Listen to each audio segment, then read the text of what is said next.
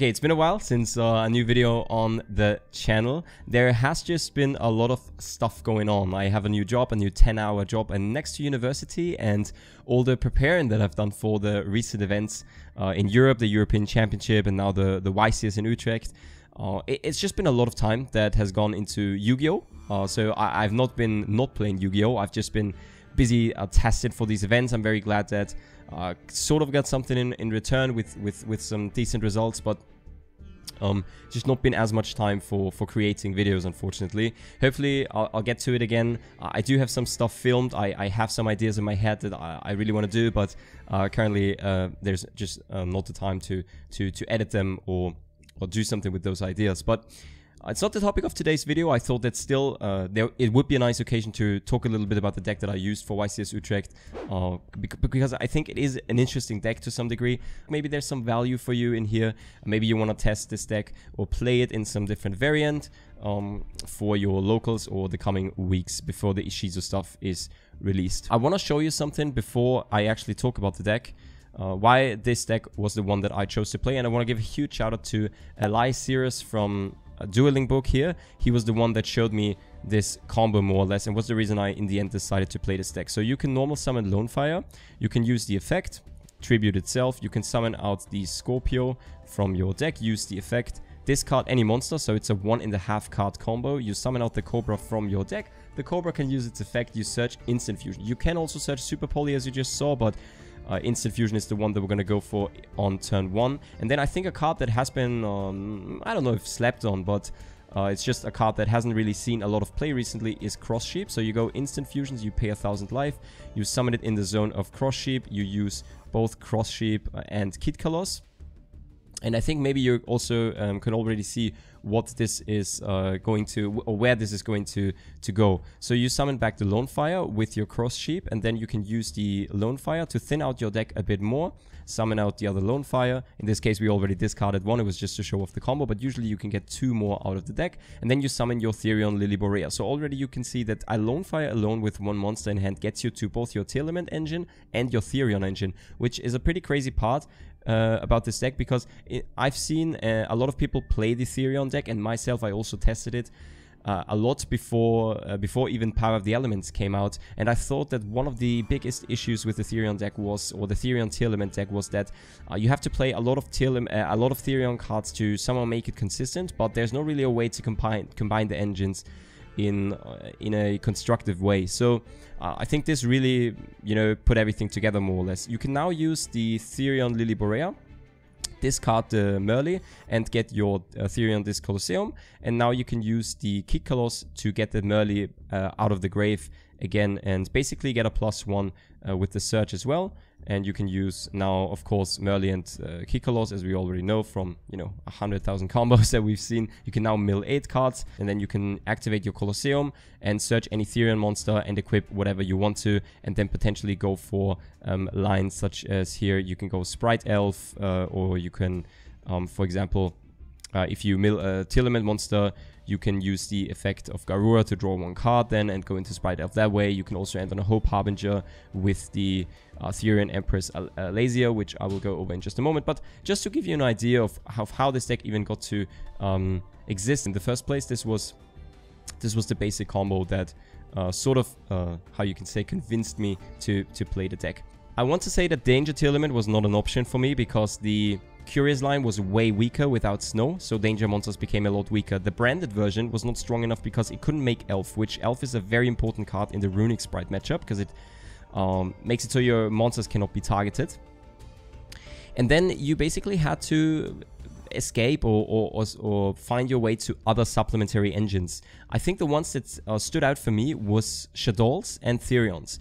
Shaddolls because uh, Shaddoll Fusion is a crazy card versus Runick Spright, which one, once again I thought was going to be the most rep represented deck in the tournament. It was going to be a very scary deck to face as well.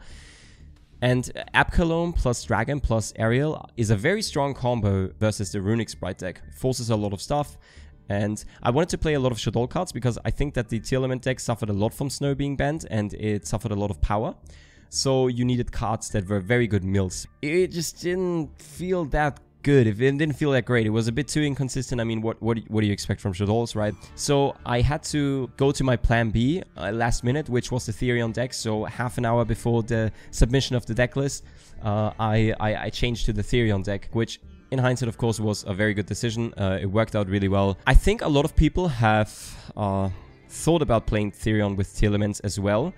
It's just that a lot of people, including myself, uh, maybe until two or three weeks before the event, have only thought about playing Tearlaments with a few Therions instead of playing a Therion deck with just a few Tearlaments. So switch that up because um, one of the one of the big advantages of Therions in the current format is that there's not really a lot of ways to negate your Therions in hand. And if your Therions hit the board, they're very scary and very difficult to get rid of. A Regulus equipped with a Borea is very very annoying because it's a searcher. They have to answer to it immediately on summon. Uh, but you can also negate one of their cards that would sort of stop the Regulus in the first place. So it is very, very annoying uh, all of these cards. Therion Charge is a crazy card in this format because not a lot of people play Ash. Uh, Argyro System is a crazy mill of your Tearlaments, and this Colosseum is a card that um, many of my opponents didn't read, and I won a lot of weird game states only with this card. Uh, the Lone Fire combo was what was sort of glued the whole deck together. Uh, so we play three Lone Fire, one of the Predator Plant Scorpio, one of Cobra, and one Instant Fusion. Uh, this package was crazy for me all weekend. When I went first and I resolved this, I always won. Uh, on this Colosseum uh, three times, three Regulus, three Borea, one Alasia, one Foom, and one Ain. So you have your Regulus that is always a good card to resolve because it applies a lot of pressure. It's in a negate, it can run over stuff. Versus Runick Spright, it's so good because they don't have a battle phase, and if your Therion stick on board, they're very difficult to get uh, to sort of deal with because they just generate more and more advantage over turns with your Colosseum on board. Uh, three Borea because it's a good mill and it's the search of the deck, of course. And then Eliza, uh, Elasia, this is the new one out of Power of the Elements. Uh, you can discard one card and special summon a Therion out of your spell trap zone with this card. So you can make Hope Harbinger really easy on your end boards with this. Foom is amazing because you can target a Therion monster in your spell trap zone and one card your opponent controls and bounce both of them to the hand. And Ain was a nice addition for some removal that you definitely need in this deck.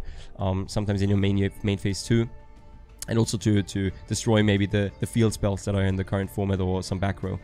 Therion charge, like I said, is one of the best cards, and going second is it, it's like it's sort of like resolving a lure with Thunder Dragon Roar in your hand. Like uh, you you just get more this uh, you just get the same uh, amount of cards back that you invested in the card, but you also get a card in the grave that helps you setting up your Therion plays, or if you mill your uh, or if you discard your Argyro system. It, it's just crazy because the Argyro system in the grave once again gives you a card back. Three Argyro system, it's a foolish burial, and if you mill it, it's one of the craziest cards. Mind that this can uh, also add Therion cards, not only monsters, so you can add your Colosseum. And one Therion Cross because sometimes when you go first, you want to search this if you already have access to your Colosseum and you don't want to just randomly search a Therion charge and randomly draw two cards. So the Therion Cross says when your opponent activates a monster effect while you control a Therion monster, you can uh, either negate it or banish it but if you have Argyro system in your graveyard, you can activate both. So versus many decks, this is very, very good. If you banish their in hand that they activate, if you negate their Kitkallos, if you negate their, uh, their Spright monsters, it's very, very good. Um, you also have 3 Scheiren and 3 Havnis. This was very clear to me because Scheiren is very good with any Therion monster in your hand because it gets your uh, engine rolling more or less. Havnis is a very good card because even though, and it was really funny because when my opponent went first and I resolved this on them and I didn't mill a Tearlament because I don't play that many, they were always sort of... Um, uh, you know, they thought that I, I missed my mill, but uh, I mill Therions, which if you mill Therions and you have a Therion in hand, it's full combo basically, right? uh, it's so, so good. It applies a lot of pressure. And then having the body on board for Dark is very, very, very good. You have one Reinoheart, one Merrli, and one Field Spell. So this ratio might, um, you know, uh, confuse a, a lot of people or might make you think that this is a bit random. Uh, there is actually some reasoning. So Reinoheart, you want to play one because you want to have access to Kaleido Heart in your deck. You can also search this with, with your Kitkallos. So um, it makes sense in that regard. Sometimes you want to search this with your field spell or your Sulliek that you mill. So I think that one was definitely uh, right for this card. Merrli also uh, as a one-off because you want to normal summon your Lone Fire, of course, most of the time. Even Scorpio is a good normal summon. So I didn't want to have over uh, six normal summons in my deck. I mean, that's already um, maybe quite a lot. You ideally, I think, only want to have five, but the Merrli um, you, you really needed to mill your 8 cards and have access to a Spright Elf. And then one field spell, just because you play Terraforming, Um, but once again, this is a Therion deck more than a Tearlament deck. So this is a control deck. Don't think of this as a combo deck. Um, the only exception is when you draw Lone Fire and you go first, then your deck becomes an incredibly strong combo deck that uh, the board can mostly not be broken because you will summon something like um, Spright Elf, IP, Hope Harbinger in the regulars with maybe a Foom under it or something like that. I mean, that's the ideal board. Uh, you can maybe sometimes get a Sulliek in there or a Cross. Um, so the, the boards just become so good and your follow-up with the Argyro system in the grave makes it so on the following turn um, you you just uh, you just add back a Regulus or something and uh, and destroy all their cards by battle and get more advantage with Colosseum. So it's very hard to grind with the second keep up. There's also not a lot of people playing Crow, so Agira system becomes a lot better.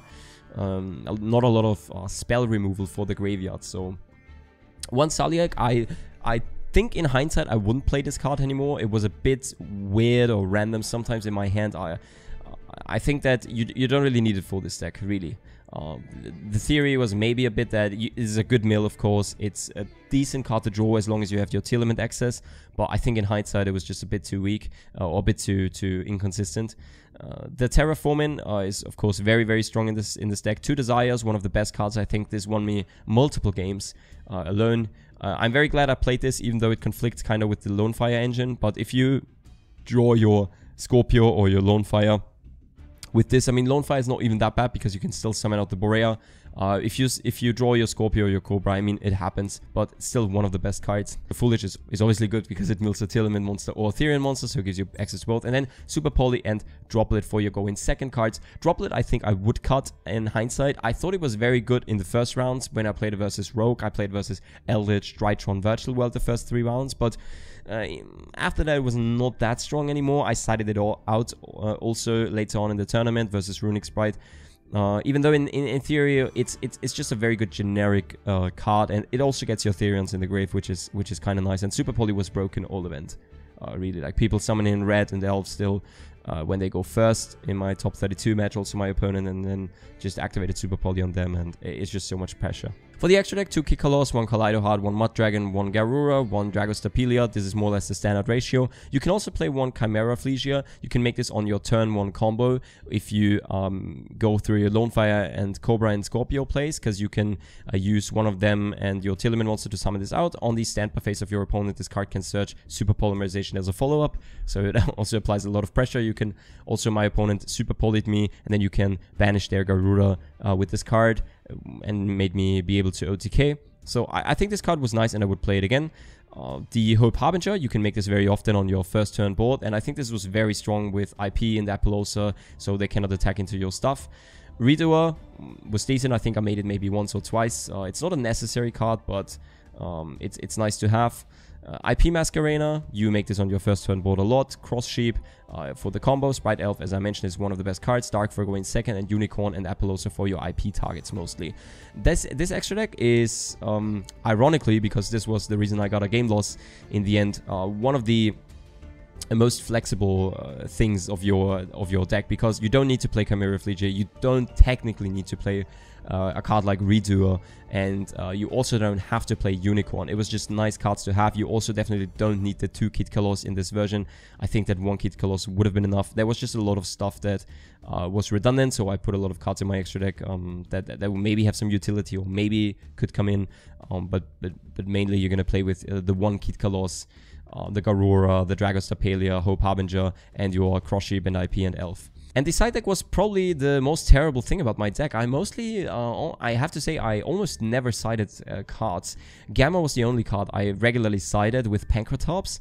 Everything else was just so bad, and it's just because I had to submit, submit the deck list so quickly, and I was not uh, prepared for switching because I was very sure I was going to play the Shaddoll deck. So I put in three TC Boot. This is a great card in theory, but I didn't face any Floowandereeze, thank God. So I was able to dodge that matchup entirely. Gamma was was was nice, but it, it was not the game changer I hoped it was going to be. Versus Runick Spright is just not strong enough. Mostly they can still on the end on a reasonable board. And no one put... Uh, uh, any any like any like uh, crazy win conditions uh, on me that that this card would have would have stopped right? Like like Dweller for example the Therion version doesn't really uh, die to as, as, as easily. So uh, I don't know if I would play this card again. It's just a very solid going second card in general but We'll have to see how the format develops now. Pankratops was nice all weekend. Uh, really, I have to say that I drew, I drew, this card maybe three or four times and it was really nice. Winter Cherries was terrible. I would not recommend to play this. Even before the event, I was not of the opinion that this card was going to be very strong because if you banish their elves versus Runick Spright, they're still going to end on a lot of cards. But uh, I don't know. A, a friend, uh, a friend, uh, sort of convinced me last second, but it was not a good card at all. Uh, Spell Cancel I played only for Mystic Mine. Uh, I think in theory this is okay. You can side out your Lone Fires, uh, but was not never sided in, of course. And versus Runick Spright, I don't side this in because the Lava Golem tag was all over the place. Everyone played a very similar list to to Joshua Schmidt's list, so you had to be aware of that. And you can you cannot put up an Elf plus a Spell Canceller or something. And Cowboy, I never made the entire tournament. I just uh, played so quickly. I tried to play very quickly because, of course, our combo burns in, in time as well, right? So if you go instant fusion, so you, you usually have to try to play very quickly with this deck.